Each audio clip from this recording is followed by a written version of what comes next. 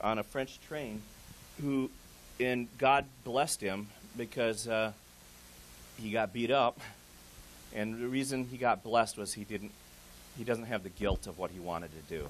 He wanted to, he had a gun and a lot of ammunition. I guess he had a couple guns, including a automatic machine gun of some sort and Kalashnikov. And he, he had a knife and he wanted to kill a lot of people. And I'm so happy and blessed. There was a, there was a National Guard there, and uh, uh, yeah, I'm not sure about that, and uh, and uh, and a, a, student.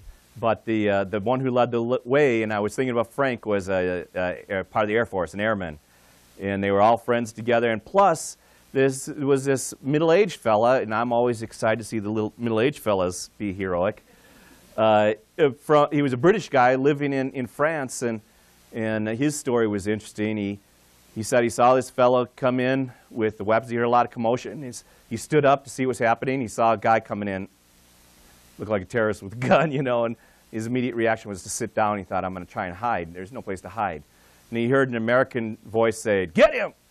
And uh, he heard another American voice say, buddy, don't do it. And then uh, he said, next thing I knew, I was up my thinking process just clicked like that, and I thought I'd rather die on my feet going forward than trying to cower underneath my chair. And, and uh, the one American who led the way, the, the Air Force fella, he, he was cut on his neck. He's bleeding. He, he almost had his thumb cut off, I guess. And, and they jumped on this fella, and they stopped him from doing something horrible. And aren't you thankful, and don't you want to say thank you, Jesus, the way that turned out, because it could have been a lot worse. I mean, you're on a bullet train. There's no getting off you got a crazy guy with a gun, it's a lot of trouble. So thank goodness they were able to stop that right away. And that's, it's, it's very proud of our armed forces, very proud of those young men who, they were on vacation, but when duty called, they jumped up into harm's way, and, and very thankful to God uh, the way that turned out. So, in, in, in yes, I am thankful to God that that fellow got his behind whooped because he wanted to do something terrible, and he was denied that opportunity. So, that's a wonderful thing to be thankful for. What's that? Somebody ask a question? No. All right, let's uh, pray.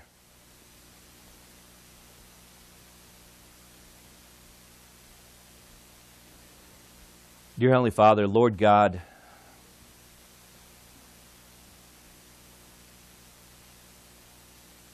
thank you for allowing us to be in your presence this morning. Thank you, Lord, that we get to be a part of your family.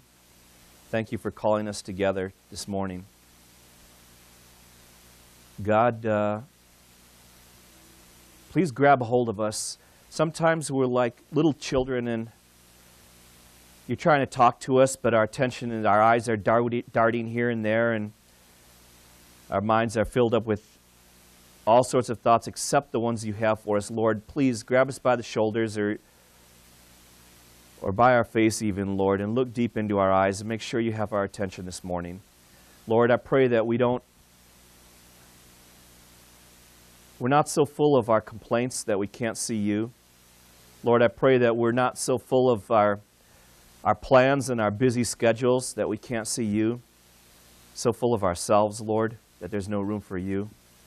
Lord, help us to embrace the cross, embrace the forgiveness you give, Lord so that when we wallow, we don't wallow in despair or self loathing, self hatred, Lord, but we wallow in your grace. We wallow in your forgiveness. We wallow in your goodness, Lord. And Father, I pray that each one of us this morning uh, determines in our hearts, Lord, to stand with you, to stand with your people, to be a blessing to the other brothers and sisters who are in this room, Lord, and across the globe, Father.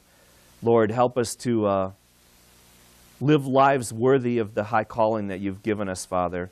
Lord, I pray that we will share the message of Jesus Christ with everyone we can. Give us opportunities, Lord, and please give us minds that are alert and eyes that are open to see when those opportunities come. Father, please speak through your word this morning.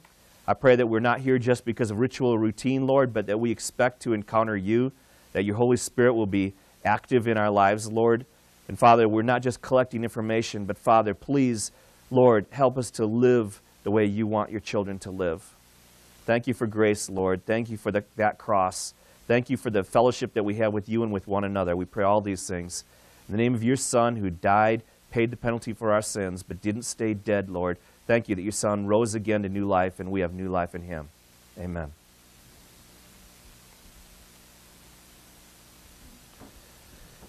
Okay, Luke chapter 7.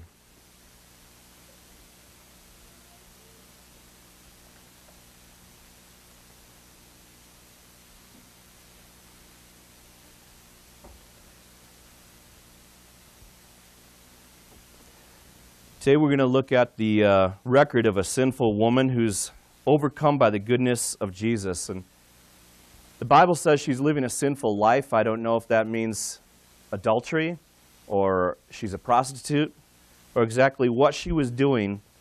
Uh, but she's heavily convicted of her sin, we're going to see today. Not, uh, sometimes we say, yeah, I know that's a sin, check. And then we go on with our lives as if it doesn't matter, as if that our sin didn't bring Jesus Christ to the cross. Think about it. If we weren't sinners, Jesus wouldn't have had to die on that cross. If we could save ourselves, Jesus never would have come to the cross.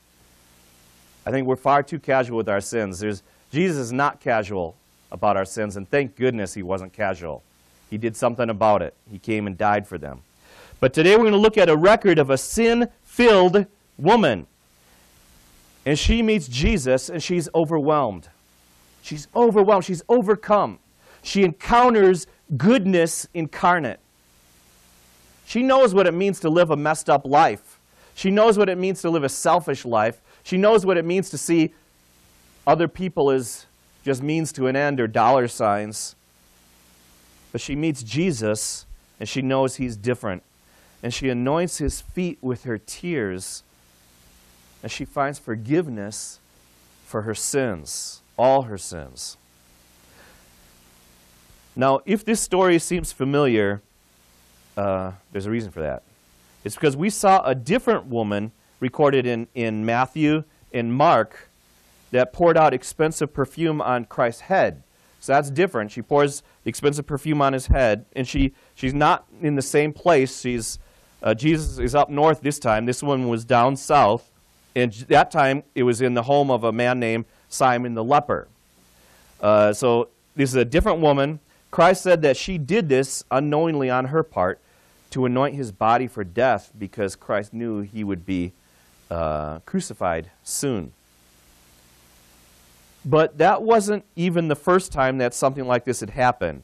It was actually the third time a woman, deeply moved by love for Christ, poured out expensive perfume on him, their most costly treasure. So these women encounter Christ, and what's the most valuable thing they have? Costs weeks or months or a year's wages, this expensive perfume. This is the third time that a woman, deeply moved by this sudden love for Christ, they pour out their most extravagant, their most costly treasure, the thing they value most, they just give freely to the Lord. No doubt they had always used this perfume sparingly for themselves. You know, I have uh, cologne that I've been using for like 15, 20 years.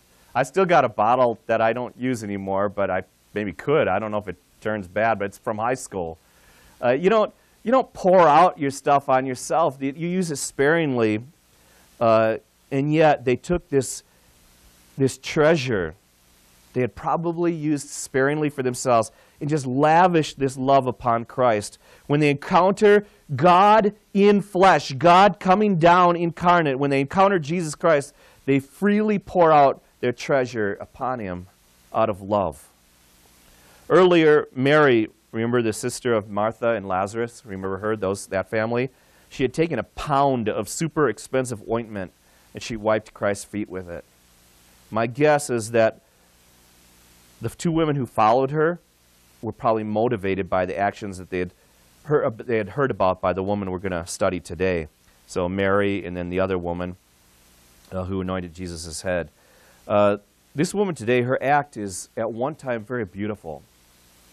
So beautiful. This woman broken, distraught by her sin, and she takes her most treasured possession and just not sparingly, not 10%, She just pours it out on Jesus Christ. It's convicting. How do I respond to Christ? What parts of my life am I holding back? What parts do I say, God, hands off? very challenging. But at the same time, I can remember ever since I've been young, this is a very uncomfortable passage. It's just something about it and something about stinky feet. Uh, it's, it's just very uncomfortable to read this passage. And apparently, it made the people who were present uncomfortable as well. And when we talk about the other two women, it even made the disciples uncomfortable. That these women, we're not used to people encountering Jesus Christ and say, and they turn to Jesus and say, Here, take everything, take, take my most treasured possession. She anointed Christ with the perfume, with her tears. She anointed him with her love. How would you or I have reacted if we were in that room?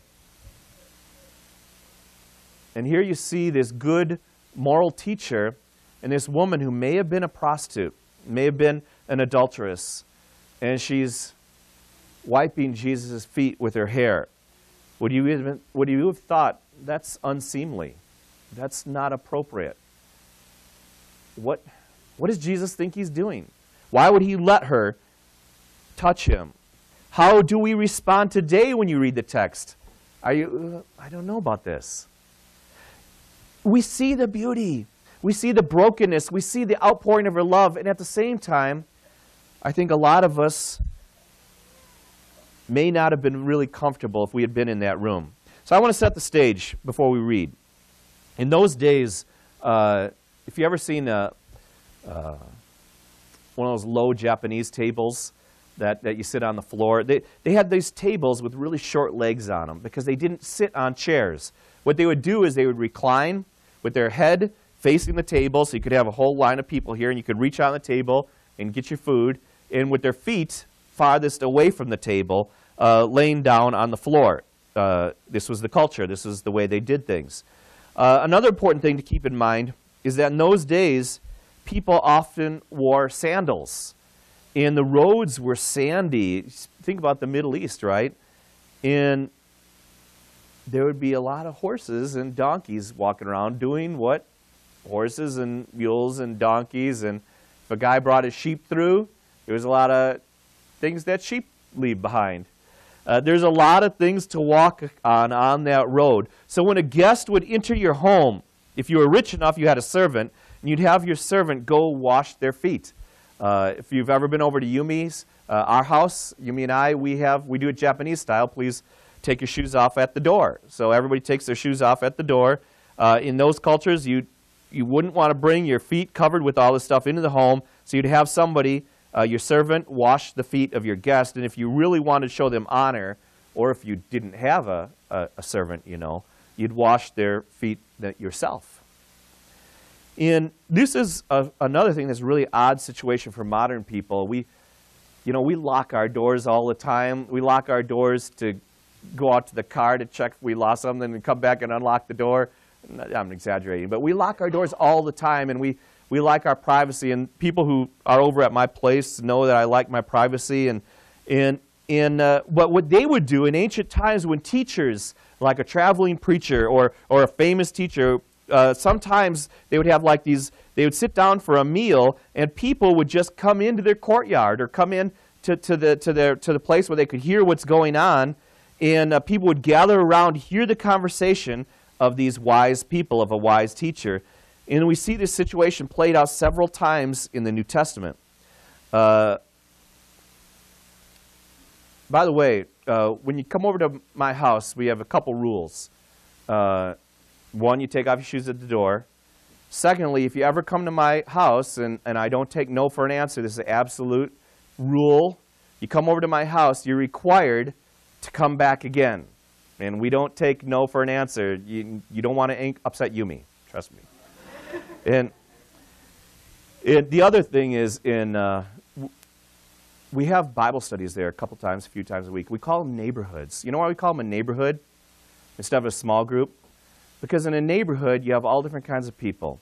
We're not doing a, a Bible study for, for uh, just the, the rich people over here or just the women who like to, to sew over here. I mean, those are okay. I don't know about the rich people group. But I mean, the women's sewing group is okay And, and then you have the you might have a group for people who like to do bicycling. That's okay. But when we call a neighborhood, the idea there is you don't choose your neighbors. You get people of all different kinds, all different sorts, all different backgrounds, uh, all different ages, and you put them all in one group, and you learn to get along because that's what the body of Christ looks like. So it's a neighborhood on purpose because we want to welcome all different kinds of people, and that's intentional. So uh, if you don't have a neighborhood small group Bible study, please come. Uh, you'd be more than welcome. Okay, let's turn to uh, Luke now, chapter 7. Okay, Luke chapter 7, and look at verse 36 with me 36 to 38. When one of the Pharisees invited Jesus to have dinner with him, he went to the Pharisee's house and reclined at the table. So you get the idea. He's laying on his elbow there, eating tables, feet are away from the table. A woman in that town who lived a sinful life learned that Jesus was eating at the Pharisee's house, so she came there with an alabaster jar of perfume.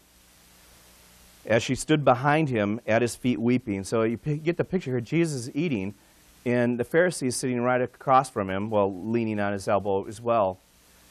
And this woman is weeping behind Jesus. So, not at the table, but farther away, she's weeping. And as she stood behind him at his feet, weeping, she began to wet his feet with her tears. She's crying so much, overwhelmed by her sin, overwhelmed by her guilt, in, in knowing that goodness is right before her. And, and her tears just flow from her eyes because she sees her sin. She's guilty. Before holy God, she knows she's not going to defend her sin anymore. She's not going to make excuses for it anymore. She's not going to try and laugh it off. She's wrong and she's overwhelmed with it. And her tears are just falling from her eyes. And the, Christ's feet are getting wet, she begins to wipe, uh, uh, wet his feet with her tears. Then she got down and she began to wipe them with her hair. She, she kissed Christ's feet and poured out uh, this alabaster jar. She, she just broke off the, the top of that and just poured it out on Jesus Christ. I wonder why, in this scene, a couple things I question. Why did the Pharisee invite Jesus over? Was he a truth seeker? Or was it because Christ was a popular itinerant preacher, a traveling preacher, a traveling rabbi? Or was he trying to make himself look good in contrast to this country bumpkin, maybe in his finery? Maybe he was trying to score points with other Pharisees and try to trap Jesus. I wondered also why this Pharisee invited him over to dine in his home, but didn't have his feet washed. Why would he do that? It's his home. Was it because he was so excited to have Jesus in his home? Imagine if Jesus were coming over. That he forgot in his excitement? Or maybe he had these pressing philosophical and theological. He just had a lot of questions, and he thought, I want to I wanna talk to Jesus about predestination. I want to talk to Jesus about those, those seven days in Genesis, or whatever, you know, the things that you would you'd want to talk if you had the opportunity. And crowded, all these theological concerns crowded maybe out the practical things. He forgot to, he forgot to set the table. He forgot to have Christ's feet washed. Uh, I don't know just having such a wonderful guest? Or was it because he knew that a crowd would form and he, he wanted to visually put Christ at a disadvantage? Maybe he liked in his mind the imagery of himself sitting there clean and in his finery, and Jesus laying there covered with dust from his travels. You remember he said, I don't even have a place to call my own. Slept with a rock underneath his head and his feet all grimy. So where people who are gathering around hear him talk, see this Pharisee, the religious leader of the community, and then they see this traveling preacher with dirty feet. Maybe he even wanted Jesus to know his place. Now he's trying to make himself feel in a position of superiority during the conversation. Here I am, all washed and clean and ready for dinner, and look at you, you're a guest, and you don't really deserve to be here, and I have, I'm providing this for you. I don't know. You know, I don't know because the Bible doesn't say. But it is interesting that this sinful woman is so overwhelmed by her sins and by the goodness of Christ that she somehow finds a way to serve Jesus. As she's weeping, she decides to wash his dirty feet. And Jesus doesn't seem to acknowledge her at first. She's back there, she's crying.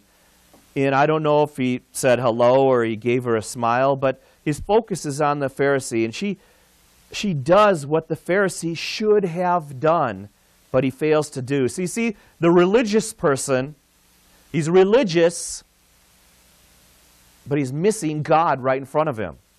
Did you know it's possible to come to church and miss God? You know it's possible to be religious and miss God? But here, this woman is broken because of her sin. Now, she's not good. He's not bad because he's religious, and she's not good because she's sinful. She's broken by her sin. She's not happy with her sin. She, she's, she, she's weeping over her sin. So much more, she actually wipes his dirty feet with her hair. Feet that were first anointed by tears and then by costly perfume. And Luke goes into detail about each uncomfortable and very emotional act. First, standing and weeping while Jesus reclines. Wetting his feet with her abundance of tears, secondly. She's so sickened by her wickedness, she's overcome by his goodness. Third, she apparently sees the tears leaving muddy streaks as the tears fall, these hot tears fall on Christ, and they're leaving streaks on his feet. She kneels down at his feet and grabs them with her hands. And then she wipes them with her hair. That'd be hard for me. I don't know you guys. She, she wipes them with her hair and, and she, she scrub brush, thank you. She kisses them worshipfully and then pours out her expensive perfume upon his feet. I wonder what the crowd thought. I wonder if the Pharisees, Pharisee had felt maybe like I'm really giving Christ this great honor by allowing him to have some conversation with me. I'm giving this traveling preacher a great honor to have this meal with me. He's probably not used to a meal like this. The dirty street, uh, street preacher without a home of his own should be grateful for my generosity. I don't know. Again, the Bible doesn't say. But I do know that this sinful woman knew that it was her privilege to be near Christ. She knew it was her privilege to be near Christ, and the Pharisee missed that, not the other way around. She wasn't privileging Christ by, look at me, I'm giving you my worship. Don't you feel privileged? Look at me, I'm, I'm bowing before you. Don't you feel privileged? She knew that she was the privileged one to be in the presence of Christ. Amen? Amen. I wonder if we're sometimes, and I the reason I wonder this is because I know the answer about myself. Sometimes more like the Pharisee than that dear woman. God, I'm going to give you an hour of prayer time. Don't you feel lucky? I'm going to read my Bible today, Lord. I hope you feel lucky. Instead of feeling, oh, Lord, what a wretch. Thank you for sparing this time with me. Thank you for opening the doors of your throne room to me. I can enter any time and talk with you, commune with you. Thank you, Lord, for this beautiful love letter where you've given me your heart. You've opened it up for me. The privilege is ours. We're not doing him a favor by going to church. We get to go to church.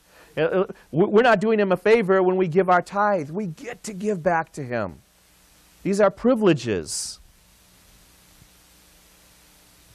Sometimes we're more like the religious guy who missed God right in front of him than we are like the woman who's broken by her own sin, understanding her spiritual bank, the fact that she was spiritually bankrupt. And she was standing before goodness itself, and it just broke her inside. And Lord, I want to be more broken by my sin, and I want to be more overwhelmed by your goodness, Lord. Lord God, save me from myself. What I don't wonder is what the Pharisee was thinking about while this odd spectacle was happening in his home. You know why I don't wonder? Because the Bible tells us. Let's look at Luke 7 39 and 40. Luke chapter 7 39 and 40. When the Pharisee who had been invite, uh, when the Pharisee who had invited him saw this, he said to himself, If this man were a prophet, he would know who is touching him and what kind of woman she is, that she is a sinner.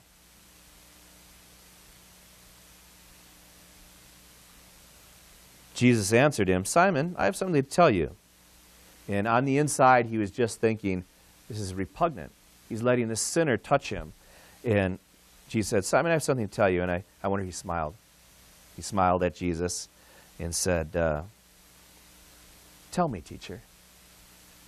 You know what? It's a scary thing to try to be a hypocrite in front of God.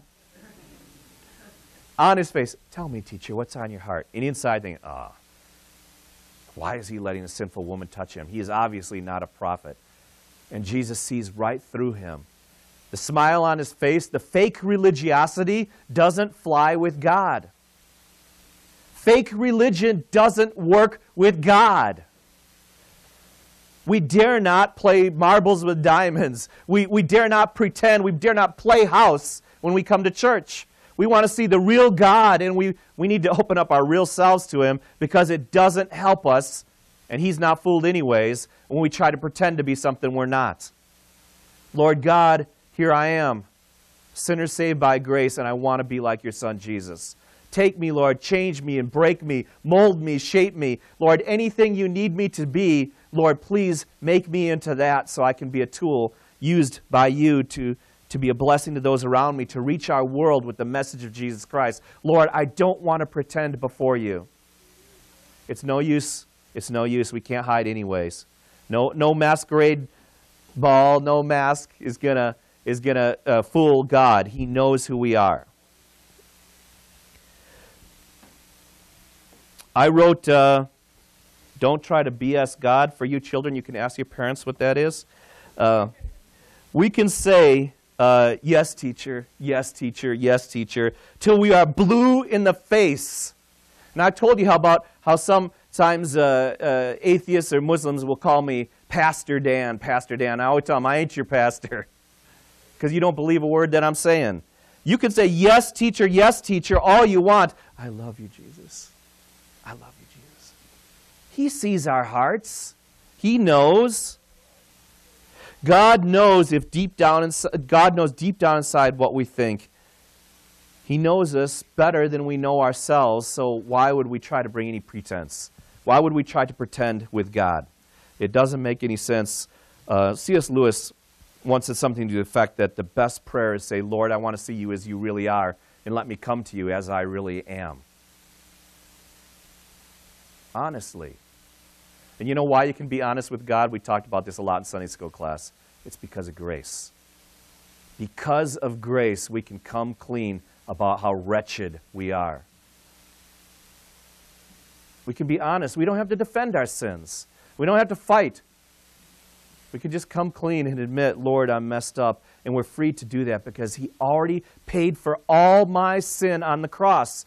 Do you know that all your sin, all of it, the worst most vile, hideous things, the things that you're ashamed other people know, the way you've treated the people around you. You say you love them and you've treated them so badly, you wouldn't want anybody else to see how you treat your family. Jesus took that, he nailed it to the cross. It's taken care of. All your sin is forgiven. Have you placed your faith in Jesus Christ? He's, he's reaching out to you with a nail scarred hand. He says, Take my hand. And if you said, I, Lord, I need you, please forgive me. I want to be part of your family. He's forgiven all your sins. And that's why we're free to admit when we're wrong. Because if you don't take that grace, you're going to be ignoring your own sin, you're going to defend your own sin, or you're going to just feel miserable and hate yourself. Those are the only options if you don't take the grace. Take the grace and run. Take the grace and run. Okay, let's look at verse uh, 41. Uh, back, back to 40. Jesus said, Simon, I have something to tell you. Tell me, teacher. Jesus says, Two people owed money to a certain money lender. One owned, one owned him 500 denarii, the other 50. Neither of them had the money to pay him back, so he forgave the debts of both. Now, which of them will love him more? Simon replied, I suppose the one who had the bigger debt forgiven. You have judged correctly, Jesus said. Imagine the power in those words. You have judged correctly. Then he turned towards the woman and said to Simon, Do you see this woman? I came into your house. You did not give me any water for my feet, but she wet my feet with her tears and wiped them with her hair. You did not give me a kiss, but this woman, from the time I entered, has not stopped kissing my feet. You have not put oil on my head, but she has poured out perfume on my feet. Therefore, I tell you, her many sins have been forgiven, as her great love has shown. But whoever has been forgiven little loves little. Then Jesus said to her, Your sins are forgiven. I wonder what she felt like when the author of life the Lord of love, looked into her eyes and said, You are forgiven. This is not an issue between you and God anymore. You are forgiven. The other guests began to say among themselves, Who is this who can even forgive sins? Jesus said to the woman, Your faith has saved you. Now go in peace God wants us to know that Jesus came to bring peace. There's a war between humanity and God. Our sin makes us always fighting with God. You can't tell me what to do. I'm going to choose for my life. Nobody's going to tell me what to do. But when you come and you're broken before Lord, Lord, I'm a sinner. Please forgive. God says you're forgiven. Now go in peace. There's no more war between you and I. Stop fighting with God. Stop fighting with God. He's, he's the one who has offered peace. We couldn't offer peace to him because we're the ones who wronged him. But he's the one who could forgive us and offer us peace, offer us forgiveness. Take it and run.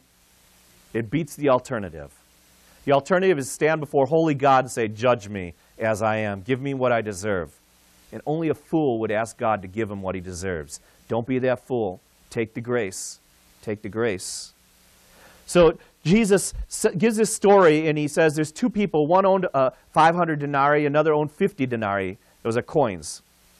A lot of money and less money. And Jesus said, Which one loves more? The fellow said, Well, I guess the one who's been forgiven lots. Brothers and sisters, if the Holy Spirit has revealed your sin to you, you know you have this great debt to Jesus Christ. He paid for it on the cross. But if we're, if we're self righteous, what does self righteous mean? It means I think I'm right all by myself and I don't need religion. I think I'm right all by myself and I don't need God. I think I'm right all by myself. I'm pretty happy with the way I'm living. If that's the way we are, we can't see our sin. We won't know why we need the cross. The person who's forgiven much loves much.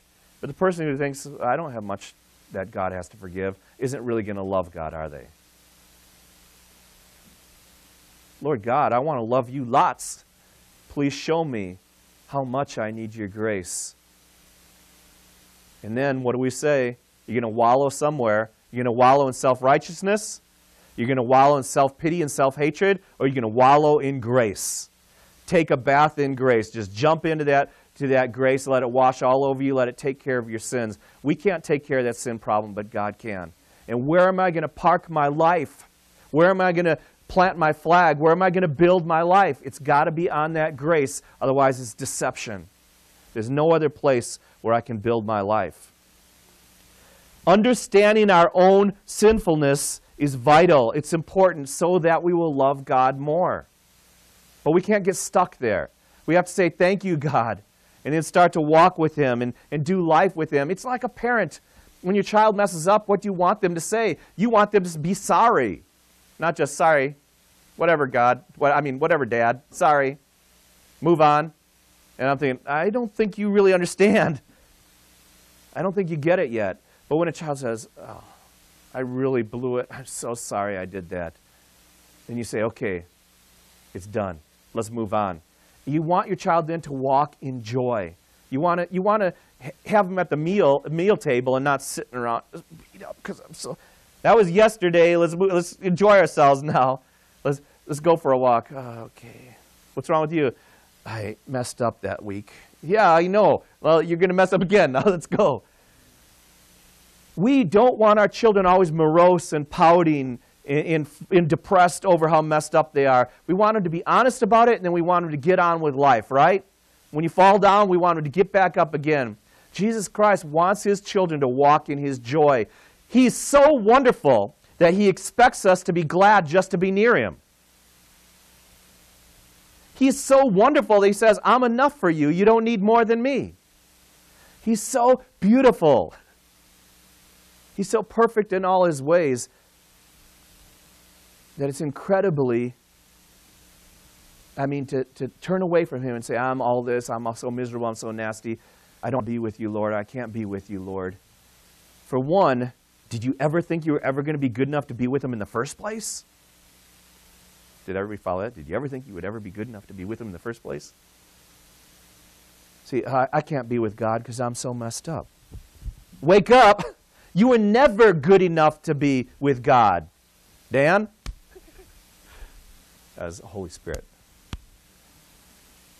I did that when I put on my aftershave too.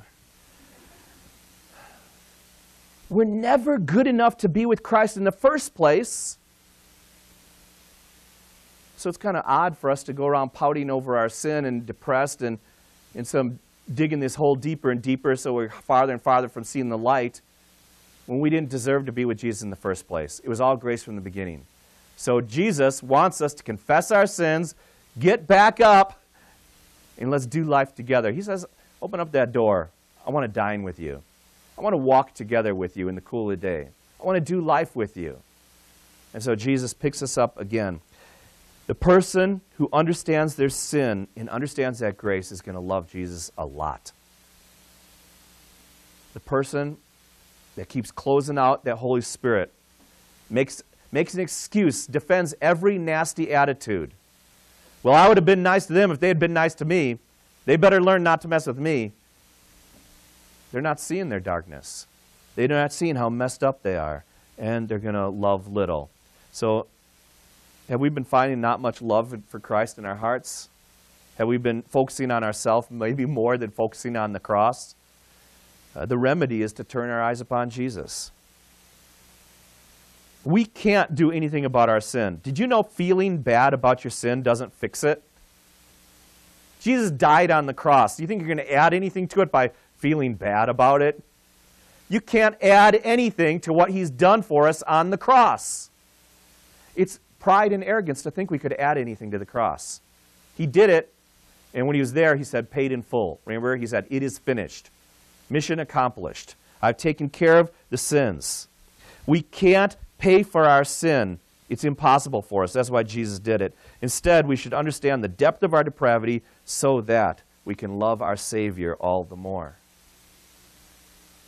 When we draw near to Christ, Either we're oblivious and miss the Lord of love right before us, like the Pharisee. I don't want to miss Jesus. I don't want to miss Jesus. Or he captures our heart. And you know what? When he captures our heart, we pour out our lives on Jesus. Here I am, Lord, take me as I am. Just take me, Jesus. I want to be yours. I want to be a part of your family. I want to be a part of your mission. I want to be a part of your will, Lord. Giving Jesus the best we have all we have. Reminded me of that uh, Christmas song. Remember the little drummer boy? He's just a poor boy, but he gave Jesus what he had. He could play a drum. That's not in the Bible, but it's a neat story, isn't it? Just coming to Jesus and giving, here, I don't play the trumpet. Will you take drums? I don't have this ability or that ability. I, am not, I'm not super skillful in all these areas, but Lord, what I have, I want to give it to you. I want to give everything that I have to you. Lord, here I am you say you loved me. You say you died for me. Well, I want to live for you now. Uh, if you're taking notes, you can write down these passages because we're not going to take time for them today. Uh, talking about spiritual gifts. And the God gives gifts to the church to build up the church. God doesn't give us uh, spiritual gifts for selfish reasons. He gives them so that we can build up one another, encourage one another. Gifts are given so that the church will become unified. Sometimes we think, well, that person has this gift and that person has that gift, so they can't get along because they're too different, and, and, and that person has that gift, so they're divided. Jesus said he gave the gifts so that we would be united.